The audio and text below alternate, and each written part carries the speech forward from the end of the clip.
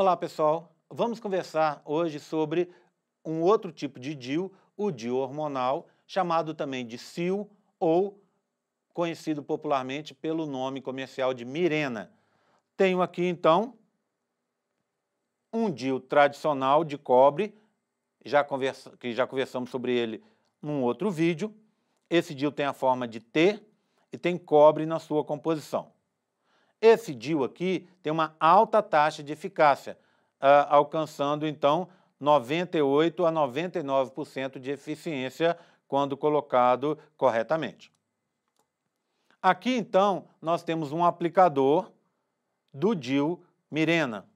O que acontece? O médico vai chegar, vai fazer uma medida do, do tamanho do útero e vai posicionar é, essa parte aqui para que ela se ajuste, né? vai introduzir isso pela vagina e ao chegar no fundo do útero, ele vai puxar essa, esse apetrechozinho aqui para abrir o sistema no fundo do útero.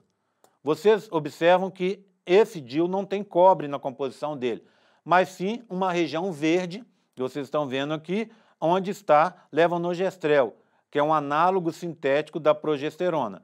Esse progestínico, então, vai ser liberado em pequenas quantidades ao longo de cinco anos.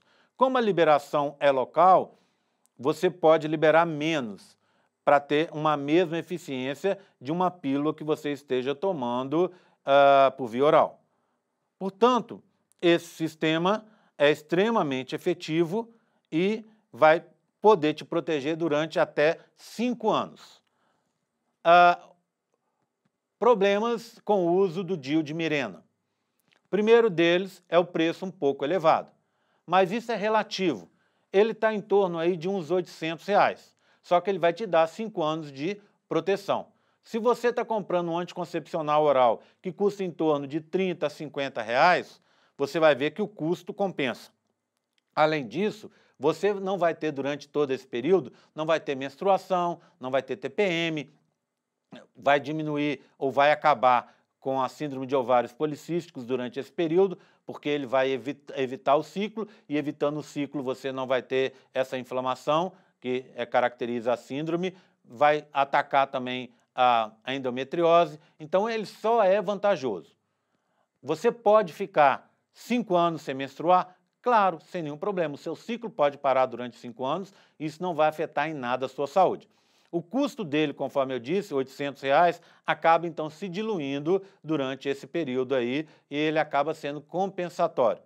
Se você, em algum momento desses cinco anos de proteção, você optar por retirá-lo, vai ao consultório, o médico faz a retirada e sua fertilidade vai voltar aos parâmetros normais quase que de forma imediata. Portanto, é extremamente vantajoso e uma boa alternativa para quem uh, tem problemas em se lembrar uh, os horários e as, uh, de tomar as pílulas anticoncepcionais. Bem, muito obrigado pela atenção e até a próxima, pessoal.